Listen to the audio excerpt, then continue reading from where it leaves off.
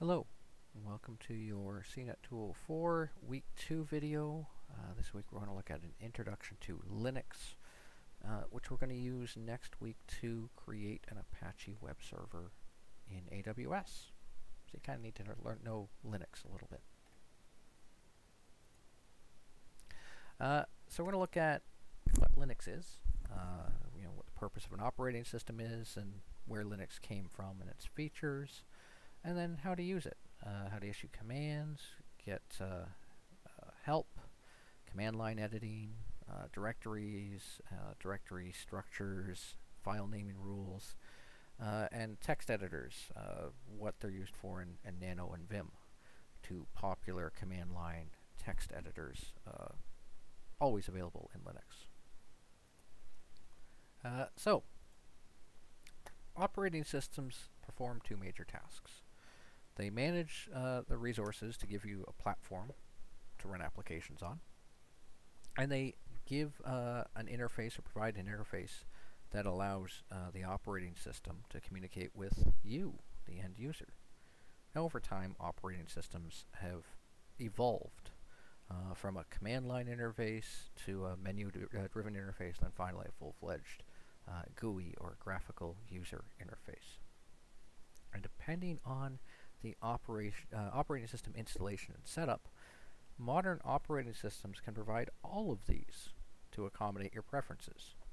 Now servers, as we're going to learn in a little while, are generally command line only, and in fact that's what you're going to be using when you connect to your AWS instances, as you did last week, right? You you did this already, you saw the, the command line interface, you just didn't really know what to do other than log out. We're going to learn what to do this week. Uh, now, to understand Linux, we have to talk about Unix first, because that's what came first. Uh, Unix was not the first operating system, but it's been around since the 70s. It made a huge impact, uh, and it's still quite popular today, mainly through its uh, derivatives, uh, Linux.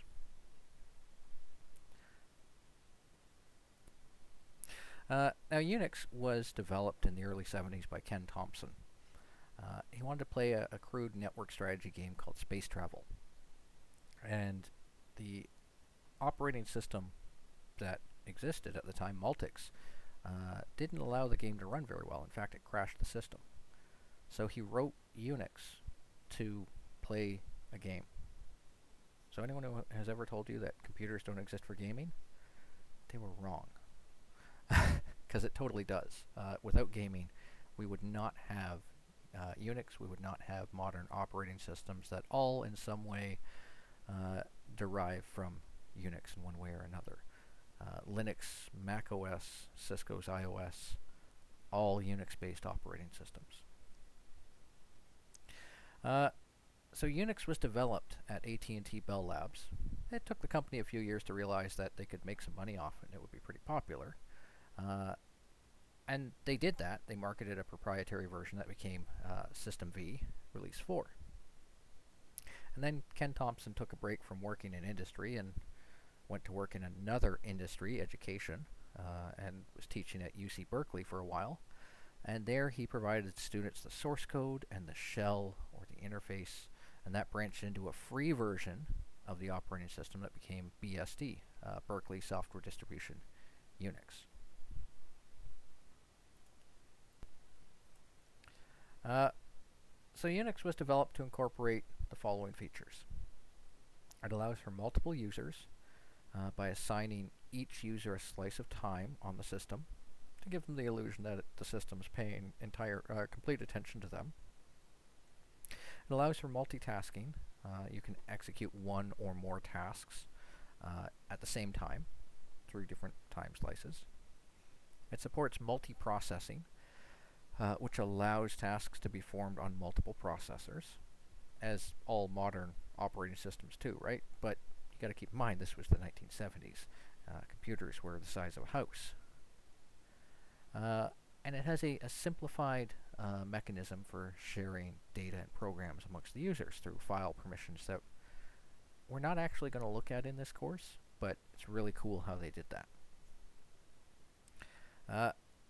Unix also evolved at the same time as ARPANET, which was the predecessor to the Internet, and that made it pretty easy to set up computer networks and use networking, uh, and eventually Internet-related utilities. Now we're going to talk about ARPANET and the Internet a little bit later in the semester.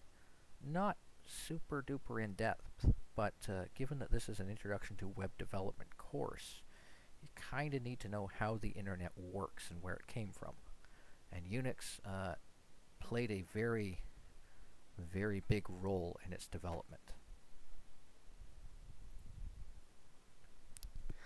Uh,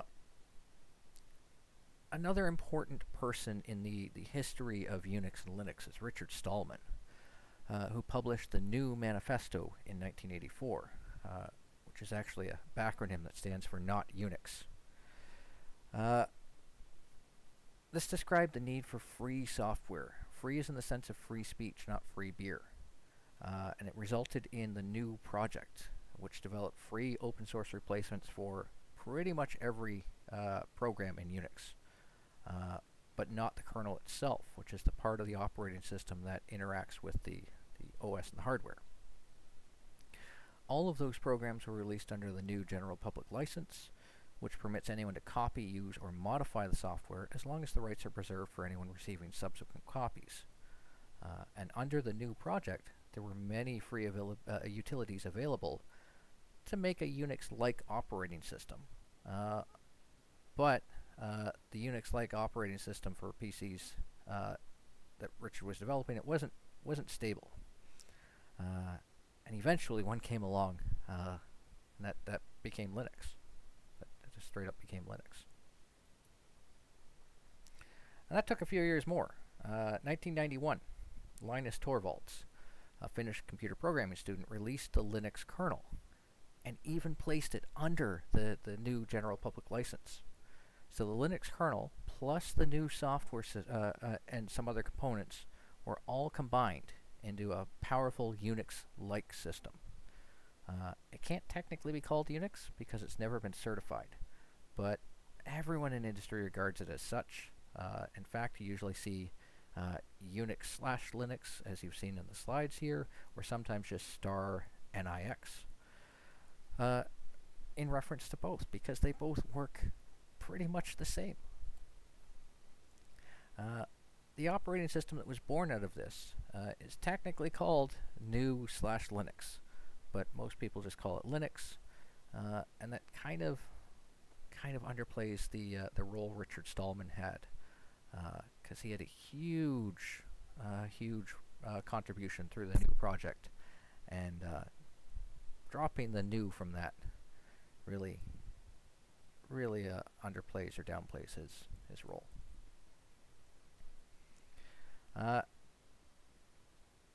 so fast forward to today, there's there's many, many different distributions or versions of Linux. Uh, we usually call them distributions or distros.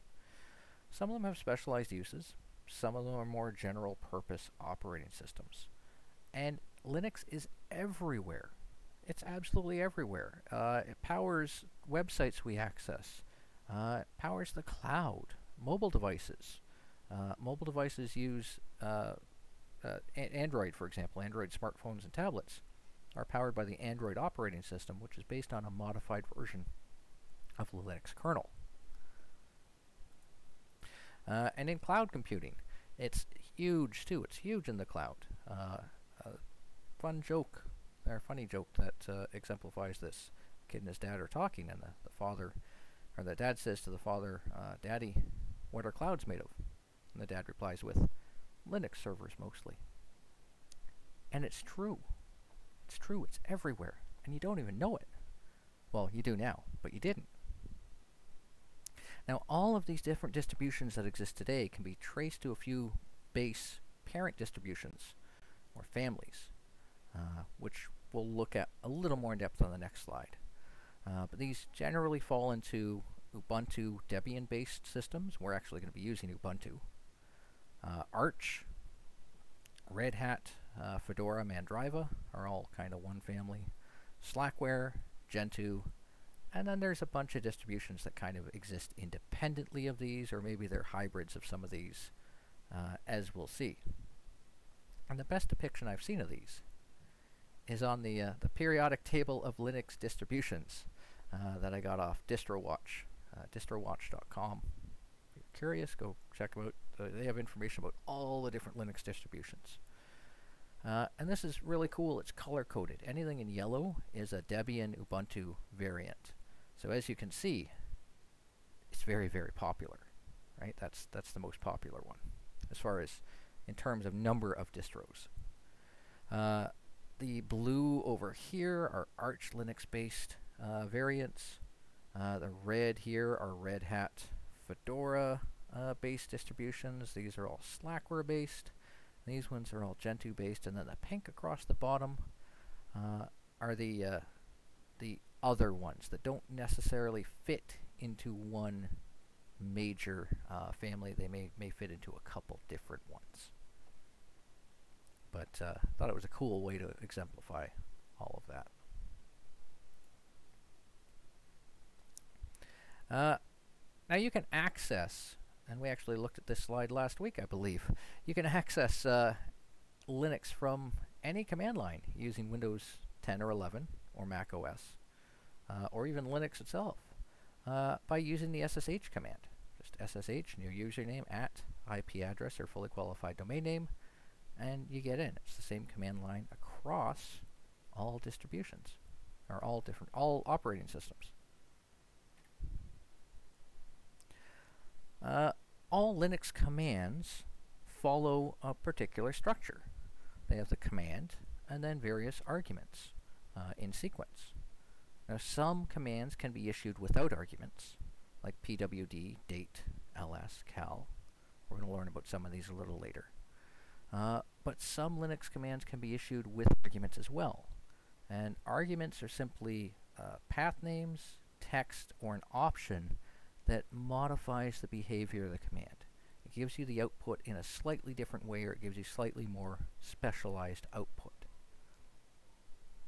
Uh, some examples of this are the ls command, which is used to list file names in the current directory. And on its own, that's what it does. ls will give you a directory listing of your current directory. But you can provide the argument of another directory, and it will give you a file listing of that directory, so ls slash bin would do exactly that. Or you could uh, you give pass it the dash l option, ls dash l, and that will give you a detailed listing or a long listing uh, of the file names in the current directory.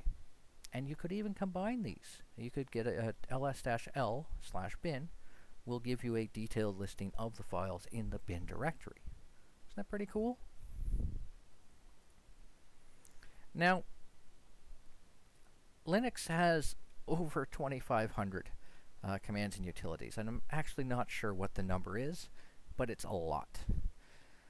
I don't expect you to memorize them all in this course. In fact, we're gonna we're gonna talk about a handful of them in this course because this isn't a Linux course. This is a web design course, but you need just enough Linux to be able to uh, install and configure an Apache server in Linux in AWS. Uh, so we need to talk about some stuff, right? But I don't expect you to memorize every command. No one should. I haven't memorized every command and every option for every command, and I've been using Linux for a good long time. Uh, a good user or Linux uh, system administrator, or sysadmin, will learn how to use commands on the fly. And one handy utility for this is the man command, uh, or manual. So man stands for. And this provides you information about how to use a command. It'll give you usage, uh, samples, arguments, options, examples. Commands are classified into sections or volumes. And all you have to do to look at the man page for a command is just type man and give it the argument of the command that you want to look at. So, for example, man ls will show you the man page for the ls command. These are even available on the internet, so you can access them through a web browser if you want, but they're just straight up available to you from the command line which you're always going to have access to if you're on a Linux system. Now, if you don't know the name of a Linux command, but you can think of something you want to do, you can actually use the K option with the man utility to search commands that match a particular pattern. Uh, so man-k copy will display all of the commands that have the word copy in them. This could be a useful thing. Uh, once you're within those man pages, you can navigate uh, through them using some shortcut keys, which is pretty useful. Uh, you can go down one line at a time with the Enter key. The spacebar will take you a full screen down. Control B will take you a full screen up. And you can even search for patterns in there uh, with the slash and then type the string of characters you want to look for, usually a word or something. Uh, and you can jump to, or it will allow you to jump to where that exists within the man page, which is pretty handy. Like using uh, Control and F and searching on a web page. Exact same functionality. And once you found the information you, you need, you want to get out of there, right? So you just push Q for quit. And you're done. You're out. Uh, now, we're going to look at a whole bunch of these. It says your instructor will demonstrate. We're going to look at these in the next lecture video where I, I go through the tutorial with you. Uh, a bunch of these commands. Uh, but here's a bunch of the, uh, the common ones you're going to use to get some practice with. Um, PWD uh, will display your current working directory. Actually stands for print working directory. Uh, most Linux commands work that way. The, the command is short for what it does. So if you know what it's short for, it's pretty easy to remember the syntax. CD short for change directory. Uh, and you can provide that the, the optional argument of a directory or path name that you want it to change into or move you to. Uh, ls, short for list, and it lists files of a directory, and there's a whole bunch of options for ls, like dash l, which will give you a detailed listing, dash a, which will show hidden files, dash uppercase r, which will give you a recursive li uh, listing, so it will show if there's subdirectories in your directory, it will show the contents of those as well. Uh, dash D will just list directories. All kinds of useful stuff.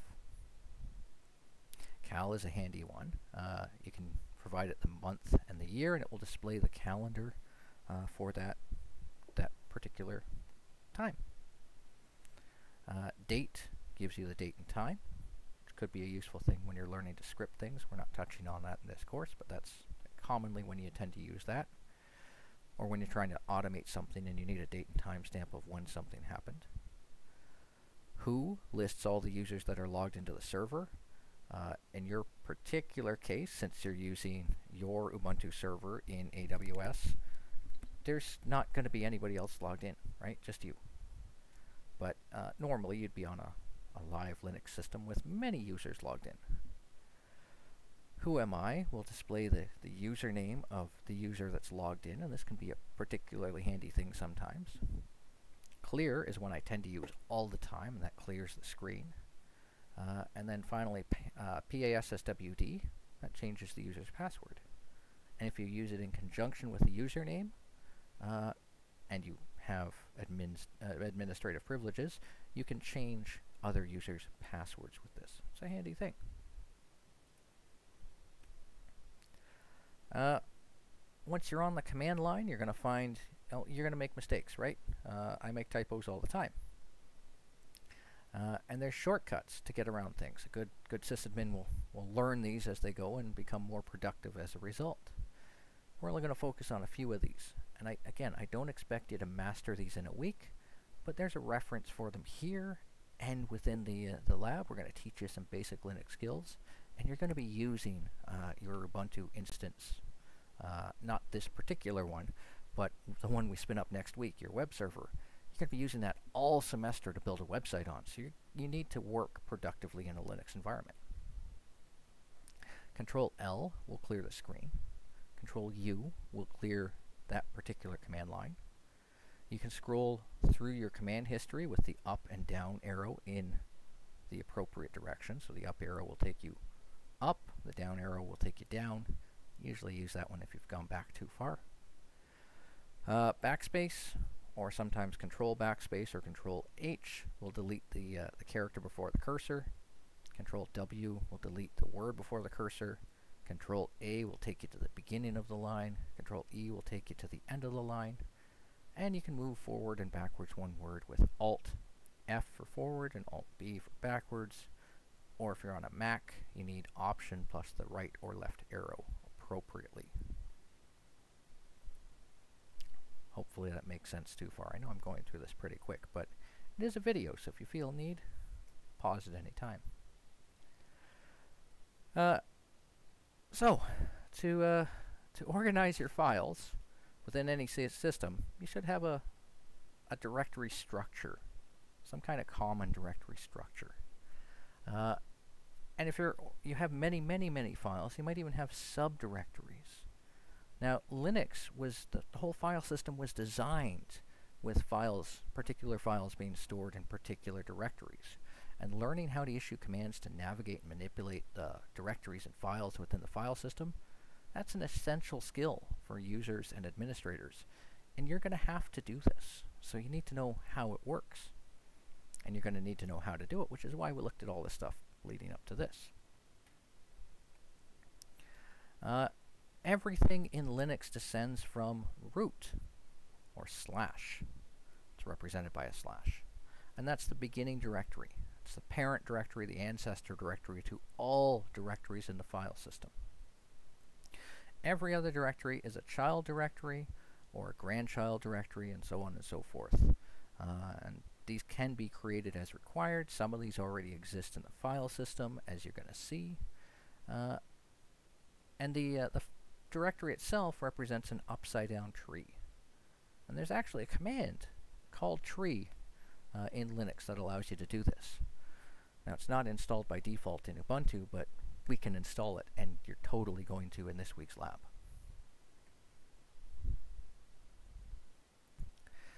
Uh, so path names are an important thing to understand in Linux and how they work. Uh, path names are used to specify the location of a file within the file system. Uh, and these are used in web design too, as we're going to see when we start building our website, understanding how these work. It's the same way.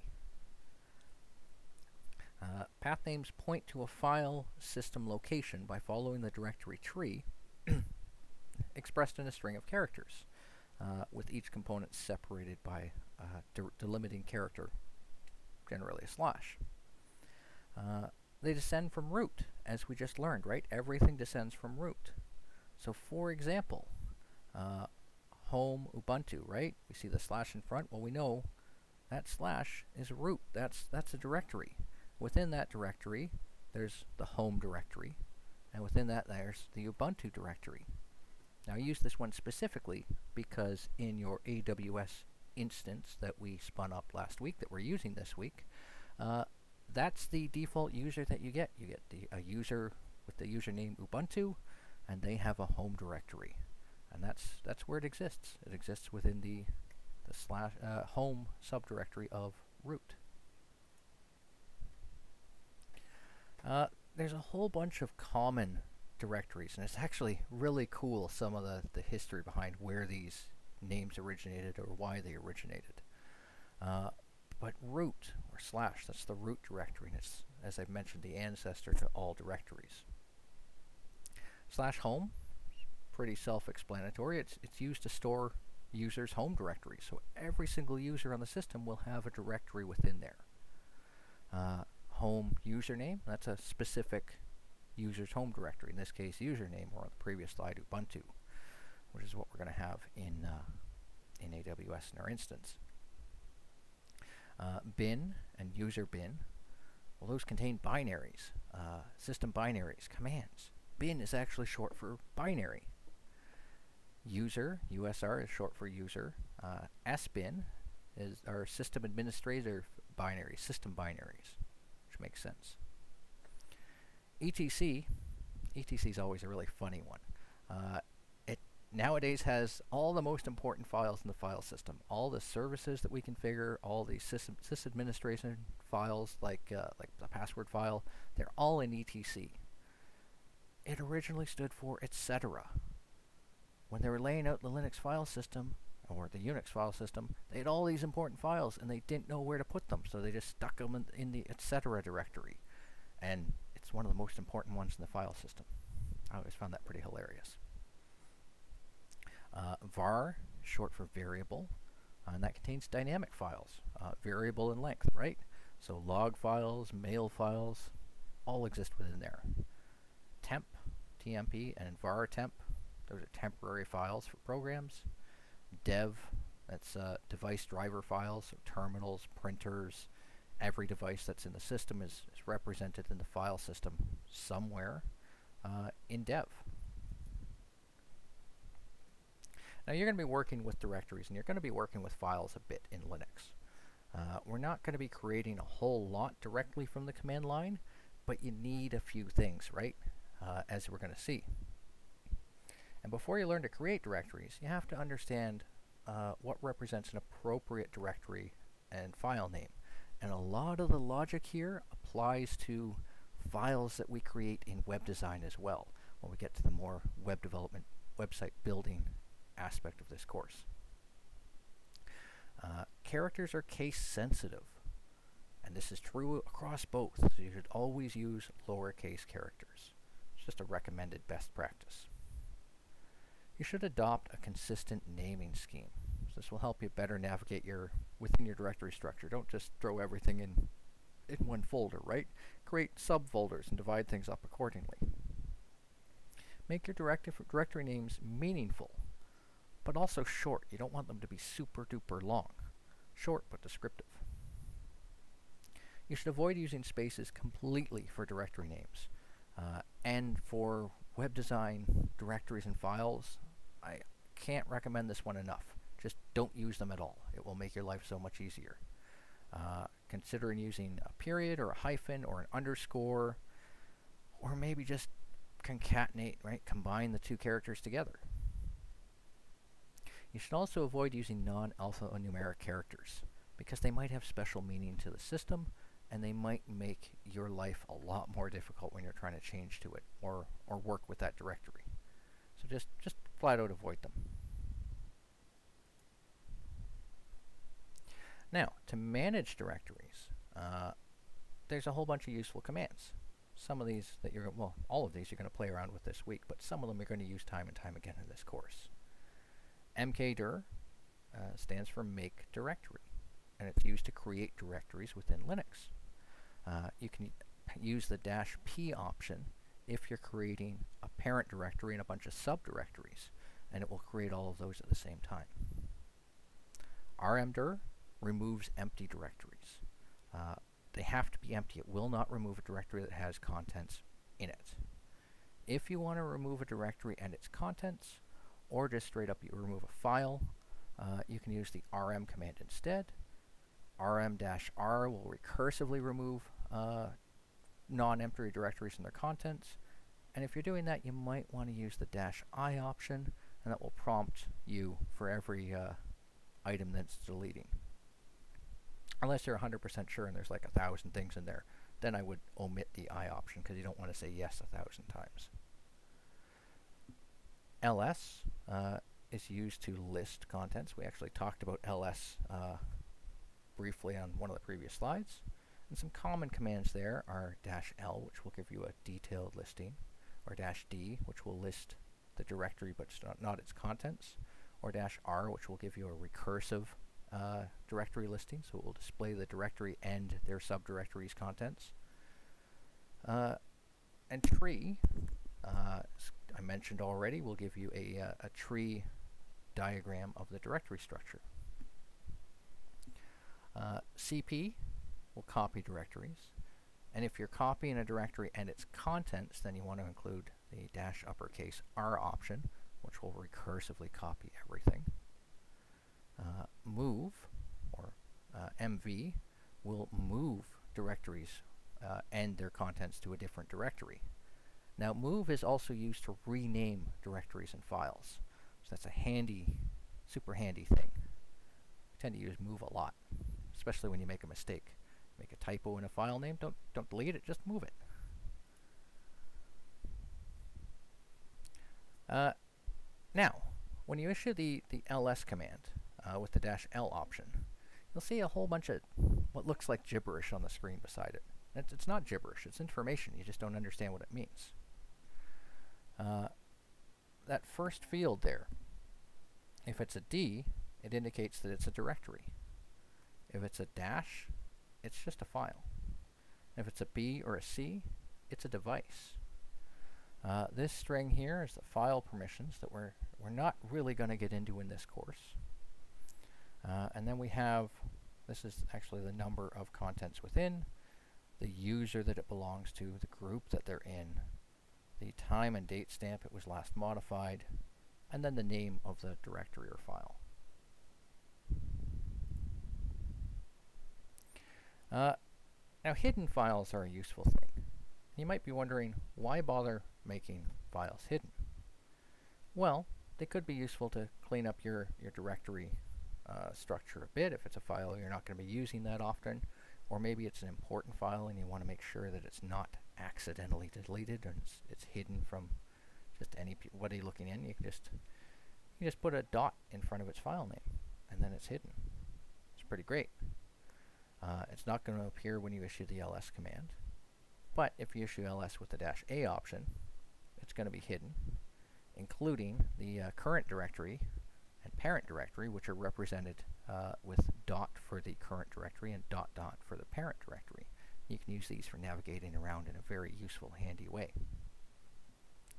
Uh, if you issue ls with the uppercase A option, uh, it doesn't show the current and parent directory, but it shows the hidden files and non-hidden files, which is kind of weird. I don't know why you would want to use uppercase A. It's two less directories it shows. But it's an option. I tend to just use lowercase a. Uh, now something I've, I've, usually mentioned at this point, but I'm, I haven't mentioned yet, and I'm going to mention it now. One of the useful things about Linux and the way it was designed is everything in Linux is a file. Everything is, is, is a file. And that means that text editors become very, very powerful tools. Uh, they allow you to create, modify, and save text files, which I just said everything's a file, right? So configuration files, they're just text files. You just edit it with a text editor, you make your changes, you restart the service, and boom, you're up and running. Which is why we're learning all this nonsense, right? We're going to create an Apache web server next week. How do you think we're going to do that? You need to use some of this stuff. Uh, programming students use graphical IDEs to code, and we're actually going to be using one this semester. We're going to be using Visual Studio Code, which is great. Uh, but you could also just straight up use a text editor from the command line which I don't recommend, uh, and compile their source code. Uh, says their matrix account. Ignore that. I thought I thought I got all the references to that out of here. Apparently I didn't. Uh, and you can compile your source code into an executable uh, program. So you could do this from the command line using a text editor. You could uh, just use a, an IDE as well. And we're going to use an IDE. We're going to use Visual Studio Code because it's awesome. I never thought I'd say awesome and Microsoft uh, product in the same sentence or same context, but I totally am. It's really well done. Uh, sysadmins, and this course is kind of, it's balancing both, right? You're learning some sysadmin stuff, but you're also learning some uh, developer programmer stuff. It's kind of a mix of both now. But sysadmins, or system administrators, use text editors to edit configuration files. Programmers use them to create and edit source code and scripts. You're going to be doing both in this course. So it's very important for you to become familiar with the process of installing, configuring, and running uh, services on your server. And using a text editor to make configuration changes as needed, super duper important. That's, that's why we're doing all this stuff this week. Now when it comes to text editors within Linux, there's a bunch available. And you're going to expose yourself to different ones and then find out which one you're most comfortable uh, using with. But the two that are most widely available and installed by default in every Linux operating system out there are Nano and Vi. There's graphical ones available as well. But uh, sometimes you've got access to a server, or in this case, an instance, right, in AWS, your Ubuntu instance, there is no GUI. So a graphical editor is going to do nothing for you, right? Uh, you're going to be using a very powerful graphical editor in, in Lab 4. That's Visual Studio Code, and we've talked about that.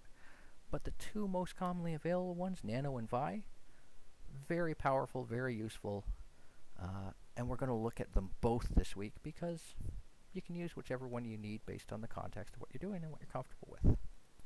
But you are going to be able, or are going to need to use at least one of them. So let's look at Nano first. Uh, Nano is a, a, relatively easy to use text editor. Uh, you're automatically placed in input mode uh, when you launch the text editor from the command line, and you can start entering text immediately. Uh, and nano commands, there's, there's a list of commands at the bottom. Uh, they consist of a, a caret symbol, which represents the control key, followed by a character. A weird thing about nano, there's no undo command, which is weird. you think there would be. Uh, and there's a table here that shows you the, uh, the different commands and their purpose in Nano, and you're going to look at them in this week's lab, so don't panic too much. You're going to play around with this a little bit. Uh, escape is represented uh, by the letter M sometimes, right? So to go forward or backward one wor word, just control and space or escape and uh, space respectively. Control A or Control E will take you to the beginning or the end of line. Control K will cut the line. Escape and 6 will copy the line. Control U will paste text that you've either cut or copied. Control G gives you help on the screen. And when you, when you want to get out and save, just Control and X. It'll do both. It'll save and exit uh, editing immediately. Now Nano's all well and good. And I use Nano quite a bit when I have to do something super quick. But if it's something a little more involved, and I only have access from the command line, I'll use Vim or Vi. Uh, so Vi, which is commonly Vim now, Vi improved, uh, it takes a lot longer to learn, but it's a very, very powerful text editor uh, and has some awesome features that can increase your coding, uh, coding productivity. One of the big differences between Nano and Vi is that Vi starts you in a command line mode. There's different modes that you have to switch between to do different things. Uh, you need to issue uh, different letter commands to perform different text editing uh, options, or press the colon, uh, shift and, and the semicolon, well, shift, shift colon, right? I'm trying to say how to do it, and it's not working too good. Uh, and that will bring you into last line mode. So you can issue more complex commands there. You can make it a little bit easier to learn, or to make it a little bit easier to learn, there's a tutorial that you can access. Uh, it's been around for a while. I can't take credit for creating it. I actually learned from it, uh, and am using it with permission. Uh, but it'll give you some hand hands-on experience with the command line editing techniques. And to access this in your Ubuntu instance, uh, just issue a git clone, https double colon or colon slash slash github.com cnet204 vi tutorial. And uh, all of these these references or these uh, key combinations here are available in your week two uh, notes. Uh, there's a reference sheet. Now, one of the other things you're going to want to do that we didn't do last week, and you might want to do, is shut down or reboot your instance. Uh, you don't necessarily have to worry about shutting it down because when you shut down the Learner Lab, that's taken care of automatically, but you might want to do it anyway. Sometimes, though, you might have to reboot. Uh, if you apply, if you installed some updates and updated the kernel, usually you have to reboot. Uh, so you can do that with, you can shut down with either power off, one word, or shut down, or you can reboot the instance with the reboot command, which could be useful. And of course, all of this maps to your Lab 2, uh, where you're going to use the instance that you created last week in Lab 1. And you're going to do all kinds of useful things in it. You're going to learn how to use the shell, how to access help from the command line, how to edit the command line and access your history, how to navigate the file system, create and manage directories, and use command line text editors, uh, Vi and Nano, the ones we were just talking about. And you're going to use all of these skills and learn some new ones too next week in Lab 3 when you learn how to create an Apache web server in AWS. And then we're going to use all of this infrastructure that we've built in the first three labs uh, and build a website with it. Uh, it's going to be really cool. We're going to have a lot of fun. On that note, take care, be safe, uh, and I will see you, or rather you'll see me, in the next video. Bye for now.